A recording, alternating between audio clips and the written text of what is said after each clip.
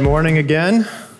Um, it's been great to get to chat with many of you since yesterday and get to learn your stories. There's so many really impressive companies that are represented in this room. Um, yesterday, I talked about strategy and I talked about purpose as a catalyst for strategy. Today, I'm going to talk about uh, an area within strategy that we refer to as strategic foresight. And when I was listening to Brian, I was thinking, oh my gosh, did I put future proofing on the title slide? Fortunately, I did not. Um, it's been really interesting to see so much similarity and interconnecting themes across the presentations. So I think that was a master stroke from Jeremy and Lisa as you guys worked with all of us. So I think you'll see some points of connection from the two people that we've already heard from this morning. So what I'm going to do is I'm going to define what strategic foresight is. I'm going to tell you why I think it's really important. I'm going to show you how we approach it at VF. And I'm going to give you a view into how we're thinking about the future, and then I'll leave you with a few pieces of advice if it's something that you think would be useful for your business. Okay, so what is strategic foresight? Strategic foresight is really about finding opportunity through the fog of the unknown about what comes tomorrow.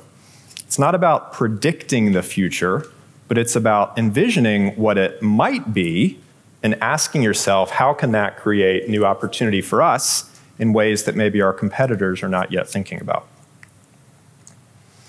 So, why does foresight matter? I would suggest to you that the investment thesis behind every business in here, the quality of it, and the value of your company is very much linked to the assumptions that you're making about the future. Okay? And this is more relevant than ever because, as every speaker has said, the world is changing at crazy rates. And so we have to be on our toes as we think about what may be happening next. And the quality of your strategy, the quality of your business case, is only as good as those assumptions that you're either implicitly or explicitly making. So remember, what are the four most important words in strategy? What must be true? In this case, I'm talking about what must be true regarding the external environment outside of your four walls and how that may change for tomorrow. So let me give you a very practical example of how this may be useful. UPS is one of the early users of foresight and scenario planning in the corporate world. And if you go back to, uh, it was probably 10, 15 years ago, executives at UPS were worried about the next outbreak of avian bird flu and that was quite uh, foreshadowing what we're dealing with today. So they went through some exercises, they developed some contingency plans about what they would do should that happen. All right, so put that on hold for a minute, and let me show you this image. This is from April 14th, 2010. Does anybody know what this might be? It's a volcano, obviously. I'll give you a hint Iceland. Does anybody remember what happened then? What happened? Shout it out.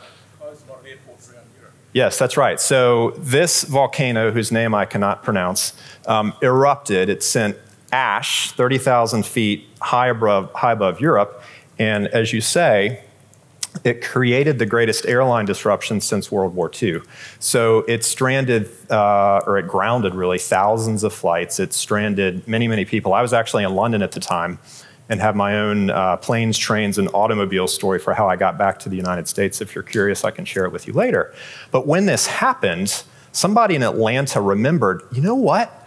A couple years ago, we did this exercise around avian bird flu, and they pulled out the contingency plans, and they were very, uh, they were quickly, they were able to very quickly put them in place so that they could keep their planes flying and avoid disruption to their delivery system. Okay?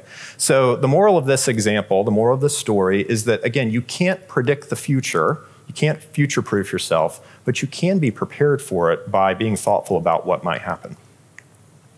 So, at VF, we use three simple steps to help us think about what the future might bring, and therefore, how can we best, best be prepared for it. So, the first step is thinking about what we call forces of change, and these are tectonic shifts in society that are real and present, and they're here, and we all deal with them. The second thing we do is we take these forces of change and we build them into simple scenarios or stories of what the world might look like. So Brian talked to us about 1730. We built four stories for 2030. and I'll show you those in a minute. And then we look into those stories and we imagine ourselves living in those different scenarios and we say, well, what kind of opportunity would this create for us that as a global company we can start to prepare ourselves for today? And the end result of all of this, why we even bother doing this, is that we have a responsibility as a global company to maintain a healthy pipeline of businesses and ideas that can sustain our company, not just in the short term, so Horizon 1 that you see there, but also in Horizons 2 and 3. And there's a key belief that we have, and it's, it's, uh, it's not necessarily a certainty, but it's a key watch out. And that watch out is that you cannot assume that your core businesses are going to remain your high growth, high profit businesses forever. Why is that? Because the world changes. Consumer preferences change, the way that consumers want to engage with brands change. So we have to make sure that we have a pipeline of different ideas that we can act on when the right moment comes. All right, so let me take you through each of the three, step, three steps, and as I do this, I'm going to give you a sense for what we as VF think may be you know, important for, for us in our categories and our businesses. So we have six forces of change. Um, for the consumer brands in this room, your list might be pretty similar. There'd be some differences, I'm sure, um, but hopefully these things will ring true for many of you. And again, we, we curated this list for the things that were important for us. So forces of change are tectonic shifts in social, technological, economic, environmental, and political factors. They're real, they're here, you can't deny them, and they will have an impact on every business in this room. So you really have to take them seriously. So let's go through them one by one. Neglected planet. And this links back very well to what Bex was just talking about. Our planet is reaching an environmental overload. We see rising temperatures, we see the fires in Australia, we see rising sea levels, we see air pollution in the world's biggest cities, right? So this is real and present, and it's here, and we have to deal with it. It affects all of us. And I want to use this force of change as a moment to make the distinction between something that is pretty certain, which is climate change, versus something that is totally uncertain, which is the way that society is ultimately going to react to climate change. So as you look ahead to 2030, that could go in different directions. So that's the kind of thing that you would explore in a scenario, whereas forces of change, they're here, they're real, you can't deny them. The next is New World Order. So with New World Order, we see a shift in economic and cultural and military power from west to east. Globalization will evolve from being trade-based and Western led to digital data based and China led. And this is happening because the United States, the United Kingdom, and other traditional brokers of global power are really stepping back. And China, while it is back on its heels at the moment, is very much leaning in to direct the future of how our world operates. And so this means that there will increasingly be two systems of business that every company in this, in this room is going to have to understand and deal with. And in some cases, you might have to make choices between one or the other. Think about Huawei and what's happening with that business right now. The third example is disruption by data. And again, we've heard uh, elements of this through the last couple of days. But here you have an exponential growth in computing power that's really leading to a, uh, an arms race, if you will, of the, there's some military language again, of the ability to mine data for as many insights as possible. And this is driven by technology that can increasingly sense and capture all of this data. So the predictive power of AI and machine learning is growing at rapid rates, which means that it can be applied to more and more things.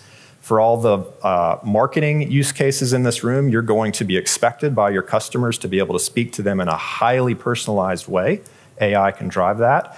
And really importantly, and this um, I think it's overlooked in a lot of cases, AI is changing the nature of work. And over the next decade, there will be millions and millions and millions of jobs that will go away because they can be automated. So think about the impact that that's going to have for society. The fourth uh, force of change is what we call post-truth world. So in this force of change, there is no shared reality. Every single person in this room gets a different news feed, gets different search results, gets different ads delivered to them, and has different social media feeds. And what this leads to is that each of us lives in an increasingly polarized echo chamber where all we read and all we hear are things that we pretty much already, already believe. And so there's no more shared context. All right? So this leads to a crisis in trust where belief is overcoming data and evidence. This is the world that we live in. Next is what we call mosaic identities. As, and as a set of apparel and footwear brands, this is really important for us to understand. So, with mosaic identities, millennials and Gen Z in particular are defining themselves and who they are in fundamentally different ways than before. They are using much more complex and fluid and internalized understanding of self identity to say, hey, this is who I am. Traditional demographics like ACE, ACE, age and race and gender, which maybe we're more used to using to try to type somebody, they're increasingly less important because everybody is different and everybody in younger generations in particular is defining themselves in much more fluid ways. So with this force of change, we say that ish is the new ism because people want a little bit of this, I stand for a little bit of that. That's how younger consumers are defining themselves. And then last but not least, limitless wellness. So, with limitless wellness, there is an increasing focus on holistic health and wellness around the world. Not just physical wellness, but mental well being and spiritual wellness as well. So, on the physical side, this is being driven by an increased understanding of our bodies and DNA. It's being driven by technology that can inform us about individually, you know, what our body is doing, and we can monitor that. And on the mental well-being side, there's growing, and it's hard to prove this, but we would we would con- conjecture there's growing stress in the world. It's driven by people living in more and more crowded cities. It's driven by people having to convey who they are digitally, and that's really stressful for a lot of people. It's driven by people being less connected to nature, and I referred to that one yesterday in our Bring uh, Nature to Cities initiative at VF. So those are our forces of change. And again, they are real, they're lasting, they're here, and they're things that everybody in this room is going to have to deal with as you think about the future of your business. So the next thing that we do is we take those forces of change and we build scenarios. So you can think of scenarios as integrated and extrapolated forces of change that are most relevant for your business. Okay, so I have four that I want to share with you they're mapped neatly on a two by two grid for all of you ex consultants in the room. I hope you appreciate that.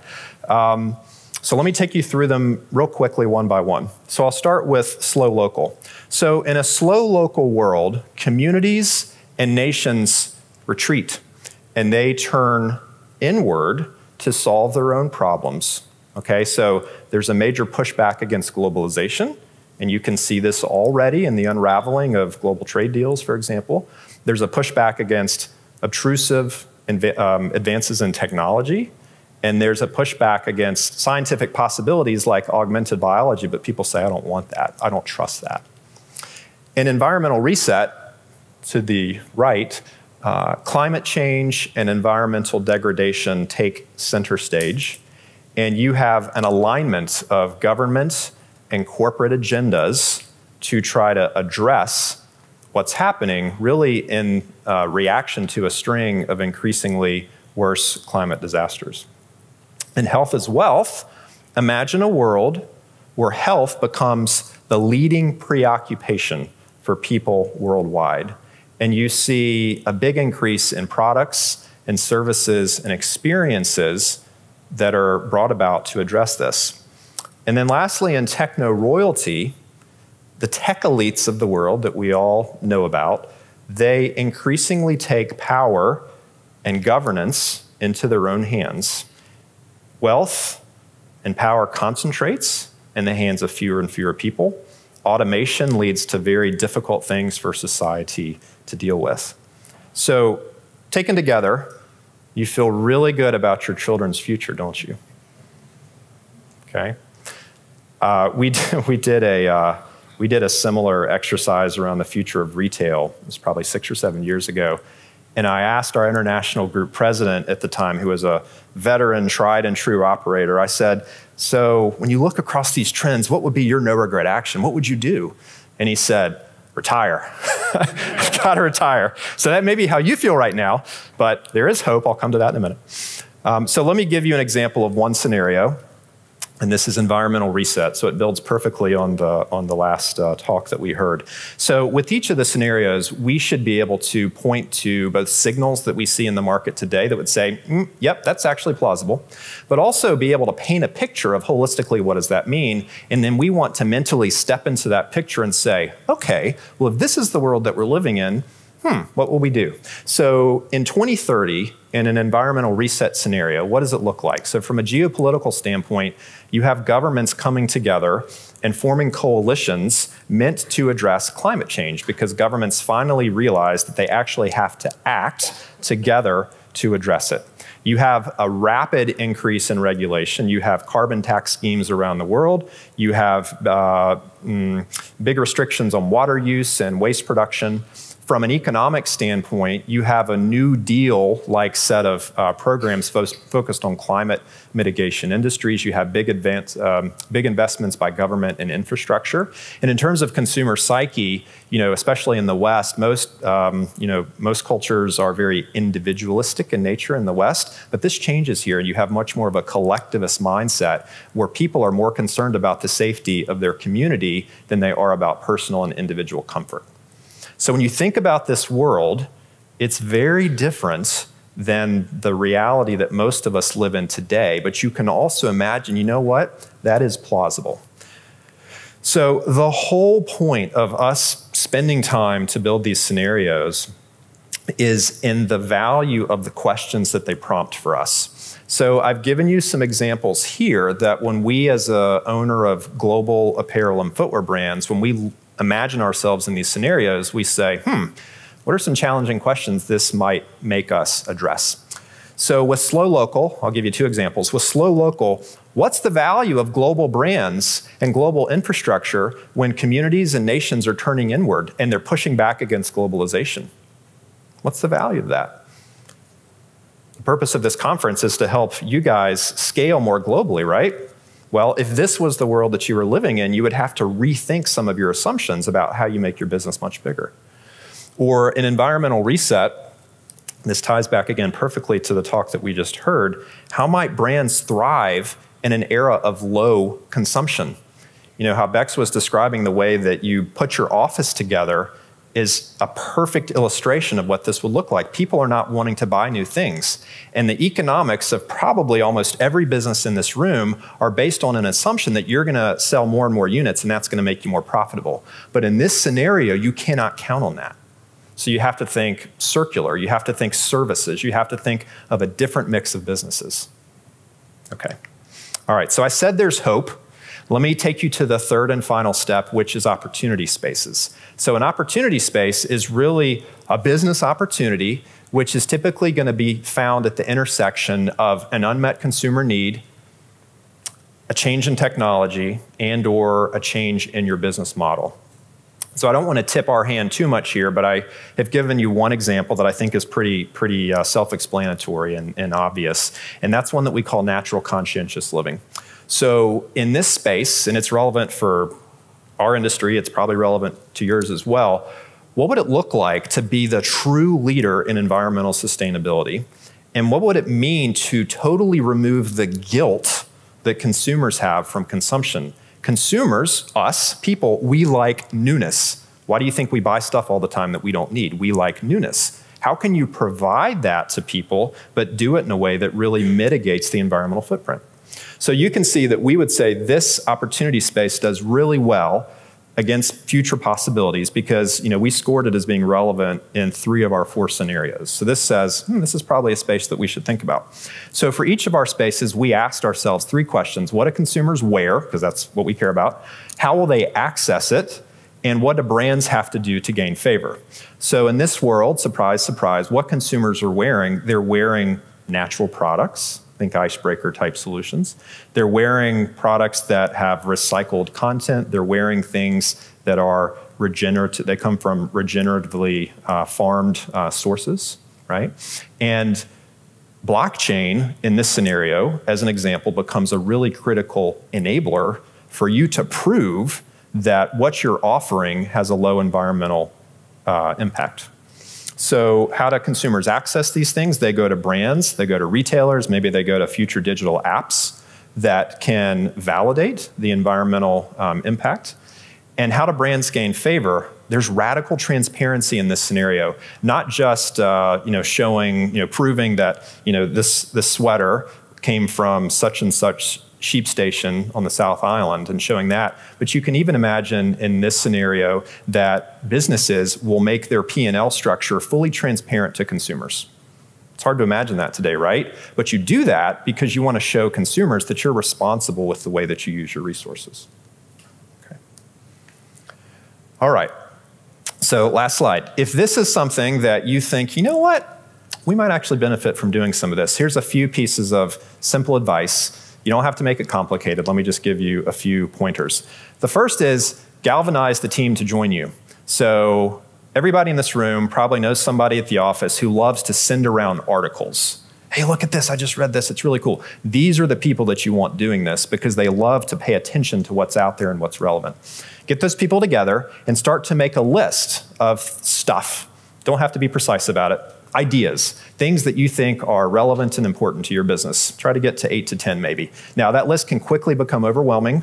You don't want 80 to 100. So use the filter of is this impactful to my business versus just interesting? So you really got to think that through. Then once you have these trends and you kind of imagine them playing out, ask yourself, what would I do? What would I do different for my business today that could start to prepare me or if I see a certain trigger event, if X happens, then I'm going to do Y and I might consider doing Z. Okay? So, most importantly, remember this is not about prediction. Nobody can predict the future, but it's about preparedness and making sure that as an owner of a business, you're thinking multi generationally, if that's a word, and you're thinking not just about the current horizon that you're in, which of course is going to be most of your focus, and it should be, but that you're spending just a little bit of time at least thinking about what may be coming around the corner, and to, to some extent, making some actions today that can prepare you for success then. So, thank you very much. Hope that was helpful and interesting.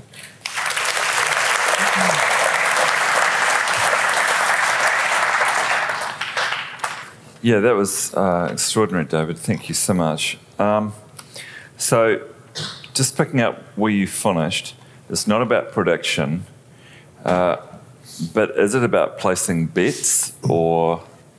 That's a great question. How do you think about that? Yeah, uh, it ultimately is about placing bets. Uh, if I can use a financial analogy, it's kind of like you want to buy a set of call options where if you you know buy at a certain price and the stock starts to take off, you can financially benefit from that. So the way that we would think about it um, at, at, VF is we want a portfolio of ideas. Some of these ideas are things that our existing brands can do right now with the resources that they they control, and some of these things might require new capabilities or new models, uh, or possibly even different brands for us um, in the future. But we want to have a pipeline of these things. So it's not about putting all of your eggs in one basket. It's about making a lot of very small bets against things that can create option value for you. So you can you can almost think of it as like a, a, a VC type of mindset. Okay, so let's pick up on that idea of mindset. Um, a lot of people are more comfortable with the here and now. Sure. Uh, you come across to me as a pretty rational guy, but also you're very comfortable to step into an Imagineering type space. So, what type of mindset do you need? And how does this relate to that earlier question about effectively the underlying value in your company? You know, what type of mindset do you need to kind of take on this type of stuff? Do you need to shift how you're thinking about your business or how you think about planning? Yeah, uh, that's a good question. I mean, it, it is, I would say, a, a, different mindset than probably most people would have most of the time because, of course, you are focused on the here and now, and that's appropriate. Um, but here you need, sometimes I would refer to this as a bit of uh, magical thinking. You have to suspend disbelief for a moment and you have to imagine that things could be could be different. So in some cases, and it kind of goes back to the point I was making about find the people in your organization that'll send you articles. They send you articles most likely because they're very intellectually curious and they pick up on signals and they can see, ah, this is actually relevant for us. So those people, I would suggest, probably have at least a bit of a different mindset than maybe some others in your organization and bring them into this process. So should you be trying to, you know, going back to the diversity comment, are you looking for diverse mindsets in the room or are you looking at almost harnessing the kind of forward thinking type people within your organization? Um, diverse mindsets are good. So it's, it's good to have uh, one or two um, more critical people actually in the conversation because they'll call BS, right? And, and they'll force you to kind of elevate your thinking. They'll say, mm, I don't buy that. And so it's a challenge back to you and say, you know what, you're right. That's probably, the odds of that happening are probably really low. Maybe we should focus here instead. And everyone loves hacks. Is, is it legitimate to have a hack like uh, you've got your forces of change? Um, or you, you kind of your your your one yeah you've got your your one to six uh, big things about mosaic identity and limitless wealth wellness etc. Can can we almost just simply look at our strategy and just ask ourselves how will identity shift affect us? Maybe it's not relevant. Mm-hmm. Move on. Mm-hmm. Can you just almost go one to six, or should you be creating your own one to six? And if so, how do you go about that? Mm. Yeah, um, you know, you can start with these six, but you know, we curated these because we are in the business that we are in. So, if you were a financial services startup in this room, you would probably think of some different ones. Mosaic identities, for example, making this up may not be as relevant, but there may be a force of change related to the changing role of money in our society, and that should show up on yours. But you know, also how you choose models you know, how young people want to see people reflected, for example. Mm-hmm. Yeah, um, that's true. So maybe it is relevant. Yeah. Yeah. Okay. Um, all right. And yeah, final question. To what extent, you know, you started yesterday talking about um, how when Steve came in, there was a new purpose born about uh, empowering sustainable and active lifestyles. To what extent was strategic foresight informing that, or to what extent were you looking at your mission, you know, to try and work out which trends were relevant to that? Was there any kind of chicken and egg type type piece? Yeah, I mean, technically, we did this work after we had established the purpose. So this is about maybe 18 months old. Um, so uh, it was separate, uh, but certainly reinforcing of each other. And I, I think as we think about our opportunity spaces, and I give you one example, we're very much using purpose as a filter for the kinds of things that we would go into. So we debated in our leadership team, we went through all of the opportunity spaces, and we took some off the table because we said they were inconsistent with our purpose. But also, is it possible to use this to kind of, you know, that, that purpose is different from when uh, uh, you know, VF 10 years ago, right? Mm-hmm. So purpose gets uh, refreshed. Mm-hmm. Is it also a way of a, a, way of kind of looking back on on who you on who you need to be as an could organization? Be. Yeah, it could be. I mean, purpose ultimately is found within, so it really needs to be in the heart of the founder and the founding team and the current leadership team. Uh, but you you could use these as a stimulus to say, is there something that we can stand for? One of these needs through these trends that we can meet that maybe we're not thinking of. So sure you could. Yeah, great. All right. Okay, thank you so much, All right. David. Thank awesome. you.